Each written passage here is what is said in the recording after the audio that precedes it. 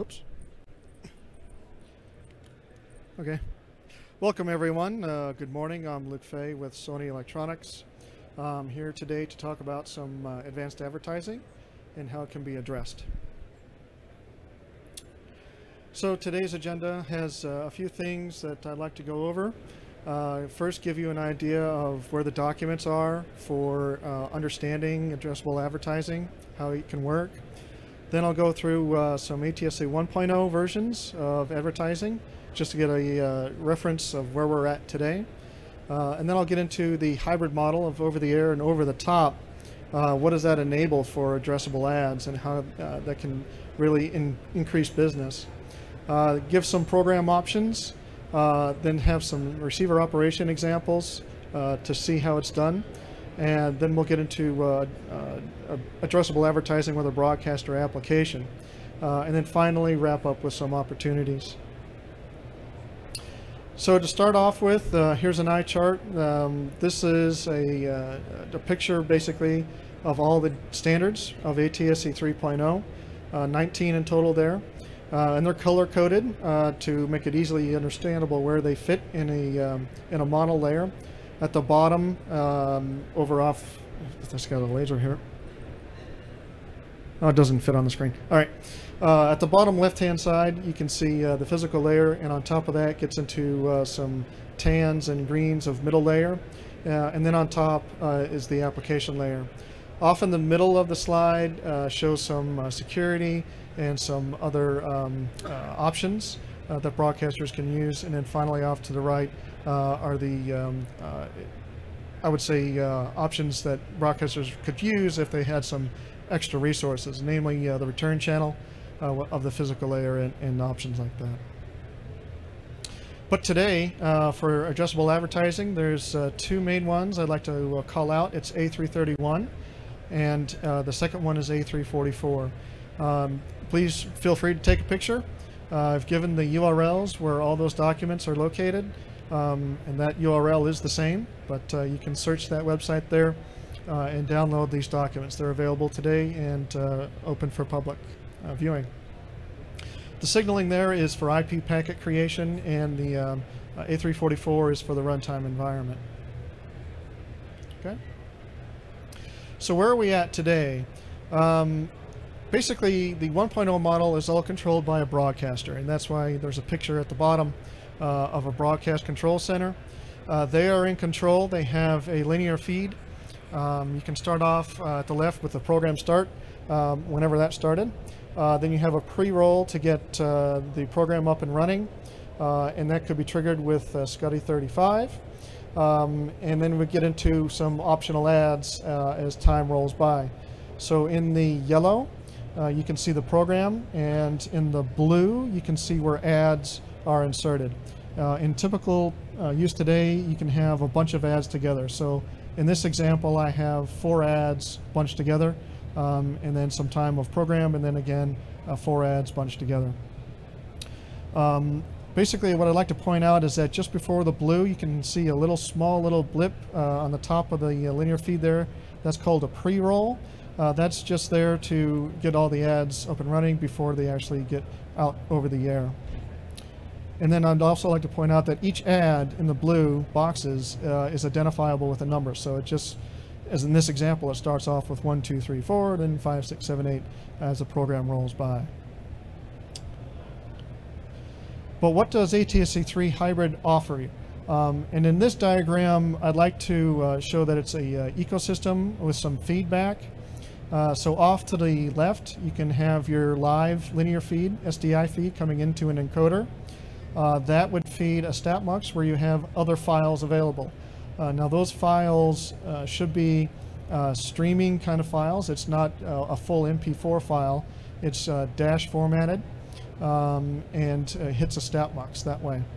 And also the, um, the packager there is kind of circling around to the right a bit and you can see some um, uh, triggers happening there. So I'd like to point out the uh, SCTE 35 trigger, uh, which is used in today's uh, pre-roll uh, to start some advertising. That can be used again today with ATSC 3.0. So I'm going to use that same trigger uh, just like we're all used to, to uh, update some programming uh, for ATSC 3.0. If we go down on the right, uh, you can see that there's um, an OTA, which is I call uh, over the air. It's a sender. There's two main protocols. There's the ROUTE and the MMT. Uh, and then after that protocol sender, you would get IP packets.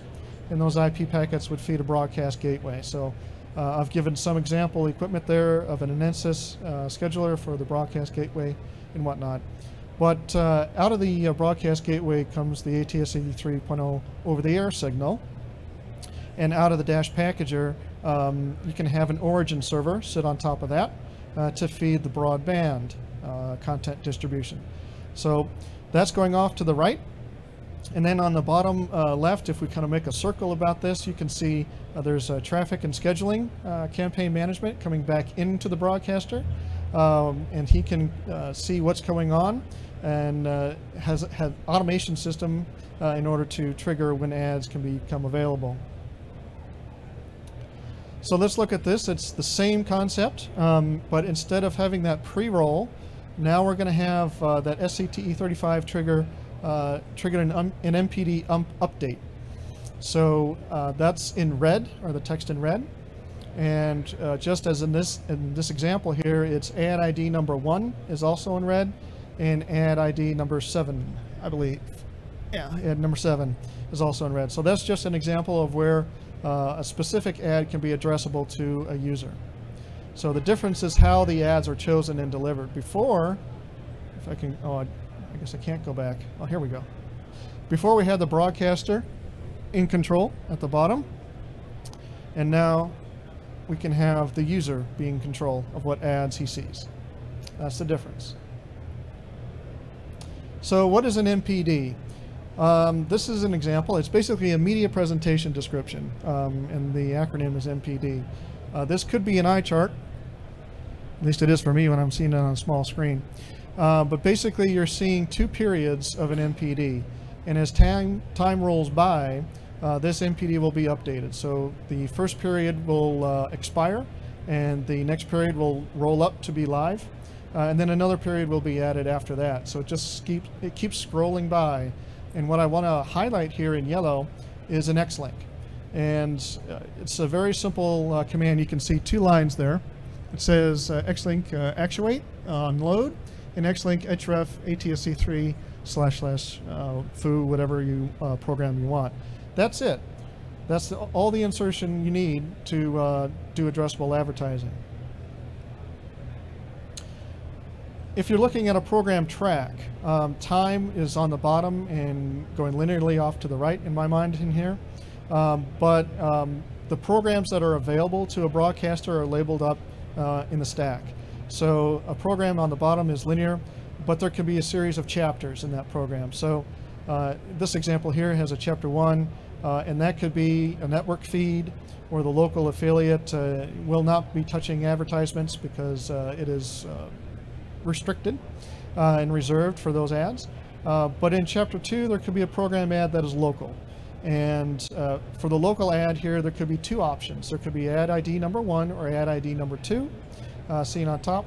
And uh, the choice is, okay, which one can be chosen, well, number one or number two. And in this example here, uh, we're using a targeted ad number two as an example. So on the receive side, there's a couple of ways you can do this. Uh, you can have um, uh, a client's client-based version of addressable advertising, and you can have a server-side based. Um, and this option here is for the client-side based. So uh, the user's information does not uh, escape the receiver, uh, and all information and decisions can be done in that client device itself. So the basic concept is you have two inputs to a receiver. You have over the air with some rabbit ears, and you have the uh, internet connection from the cloud to the TV. And the picture on the TV uh, there is just a protocol stack of how to uh, get the signal, have it flow up into a user agent, which can render some runtime environment ads, uh, a runtime environment. Uh, and that uh, environment could have a broadcaster application there in white, which also feeds into some HTTP interfaces with um, uh, JavaScript and uh, some WebSockets there. So this is just very high level uh, what a receiver could do, as an example, uh, implementation. So what is a broadcaster app? Um, an example here is given of what it could look like. Um, in the background there, you can see a, a picture of windsurfing, uh, but it has like a brown gradient going off uh, from the left, and it kind of fades off to the right. And what that shows is just an indication something else is running on the TV that a user can interact with. And in this example here, we've brought up some weather uh, as well. And you can see that a guide has been pulled up along the bottom. And that guide just basically shows the current channel that's being watched. Uh, and if I would hit a, a, right arrow on a remote, for example, the program there in the middle would be uh, highlighted. Uh, or if I keep going right, the next program could be highlighted. So there's choices of content that a broadcaster application can do. And that's exactly the more the power of ATSC 3.0 is the hybrid action of over the top and over the air interactivity. There's a few APIs uh, that are defined in A344. Um, so there's resident media player selection, uh, two-way DRM, Widevine is an example of that DRM. There's some usage reporting, or you can have an X-Link resolution. So if I go back one slide, um, the X-Link and that MPD that, you, that we saw would flow up the protocol stack. And if a broadcaster application subscribes to X-Links and say, I can uh, resolve some X-Link, then it will be notified of that X-Link and do something with it. So if that X-Link comes in, um, we can have uh, some addressable advertising come in. I'd like to give one more option of what a broadcaster app can be. It's um, basically some uh, video on demand options. So broadcasters are no longer um, tied down to one program at a time. Um, it's kind of like offering more than diginets. Uh, you can have your VOD service and you know, start to compete with Hulu or uh, Amazon Prime or some other uh, online services. So it gives them the ability to uh, stay in the game, yeah, if I can put it that way. So how are advertisements chosen? It's, um, uh, well, this PowerPoint slide here is broken into two pieces, uh, words on the left and uh, diagrams on the right. Um, and it's flowed, uh, the flow is from the top down. So the first thing that happens is uh, a query of, do you have enough memory? And that's, I'll watch the ledge here. At the top there it says prepare local memory. And yeah, the laser doesn't work. Um, the label off to the right in the in the uh, picture has a BA label. That stands for broadcaster application. So the broadcaster app would say, you know, cache usage request, please, I want to store some ads. And then the response would come back with how much memory is available. The second thing was the broadcaster application registers for the X-Link notification. So it notifies the receiver, I can resolve some periods for you if an X-Link comes in. And that's the request here off to the right. Um, it says obtain MPD period or URL with Xlink. And basically what that does is you've notified the receiver, uh, I need to cache some uh, data. So the receiver should go off and take a bit of time. That's why the arrow is off for a bit. Um, and it will be notified when some things become available. After that, the broadcaster app uh, resolves the MPD period and replaces it with either a URL and that URL could be from his advertiser, uh, that advertising agency, or his own server, or wherever he likes it. Uh, or he can replace it with uh, the exact description of the MPD period with dash segments. So picture off to the right, um, uh, the receiver says status if the files are cached, yes or no. Um, and the next point down is receiver updates the MPD with resolved X-Links period. And that resolution is takes a bit of time. It says, okay, once I have all my files and they're ready to go for the entire period, and the period could be 15 seconds or 30 seconds or whatever it is for the advertisement, or it could be half hour if it's a replaced content. It doesn't have to be an ad. Anyways, if it's uh, got enough uh, segments to start playing, it doesn't need all the segments, just enough to get going, uh, then it can notify the broadcaster app, I'm ready, I'm ready to go. And the last point uh, is the receiver renders video with frame accurate resolution. Um, it may ask for extra features um, from the broadcaster app, like what are the filter codes. So these filter codes are basically um, indicate user interests. if a user is um, um, interested in travel or some food or something like that, there can be a menu guide in the broadcaster app to let uh, the client device know these are some interest. And when ads pop up, there can be a choice of food or travel or whatnot, and those can pop up. And that's what's indicated at the bottom here. Um, please get some filter codes uh, to help out uh, resolving what ad to play. So going back to this picture here, we have the MPD update um, send time, which is exactly lining up with the old pre-roll. So the SCTE 35 message can trigger, please update the MPD period with the next link. And the next ad after that with an ad ID number one can be selected by the client device to play rather than the original program. So that time difference there of a pre-roll can be selectable. And it is usually between three and five seconds is all that is required in order for receivers to render uh, you know, the beginning selections of an ad and, let, and get going for seamless operation.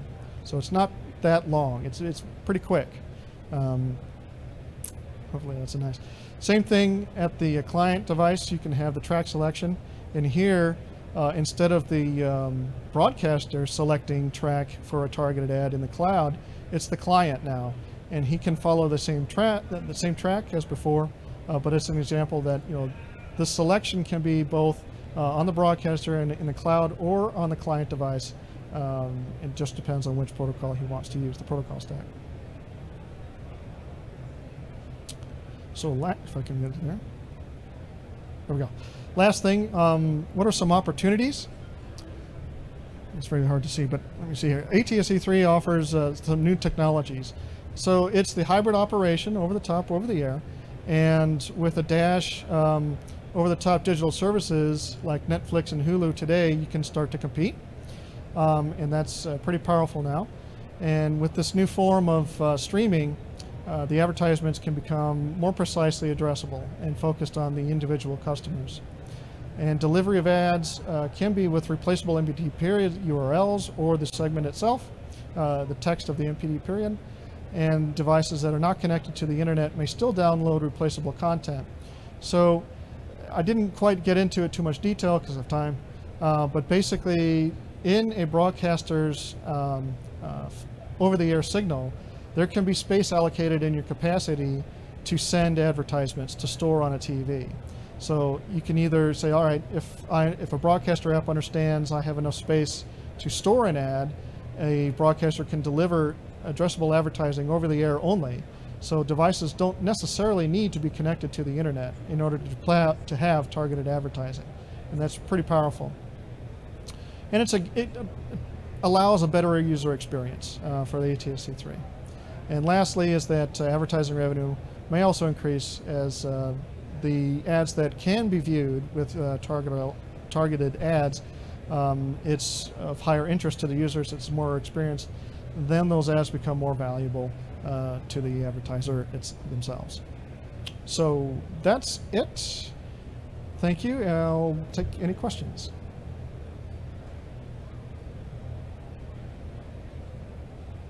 I didn't think I was that good.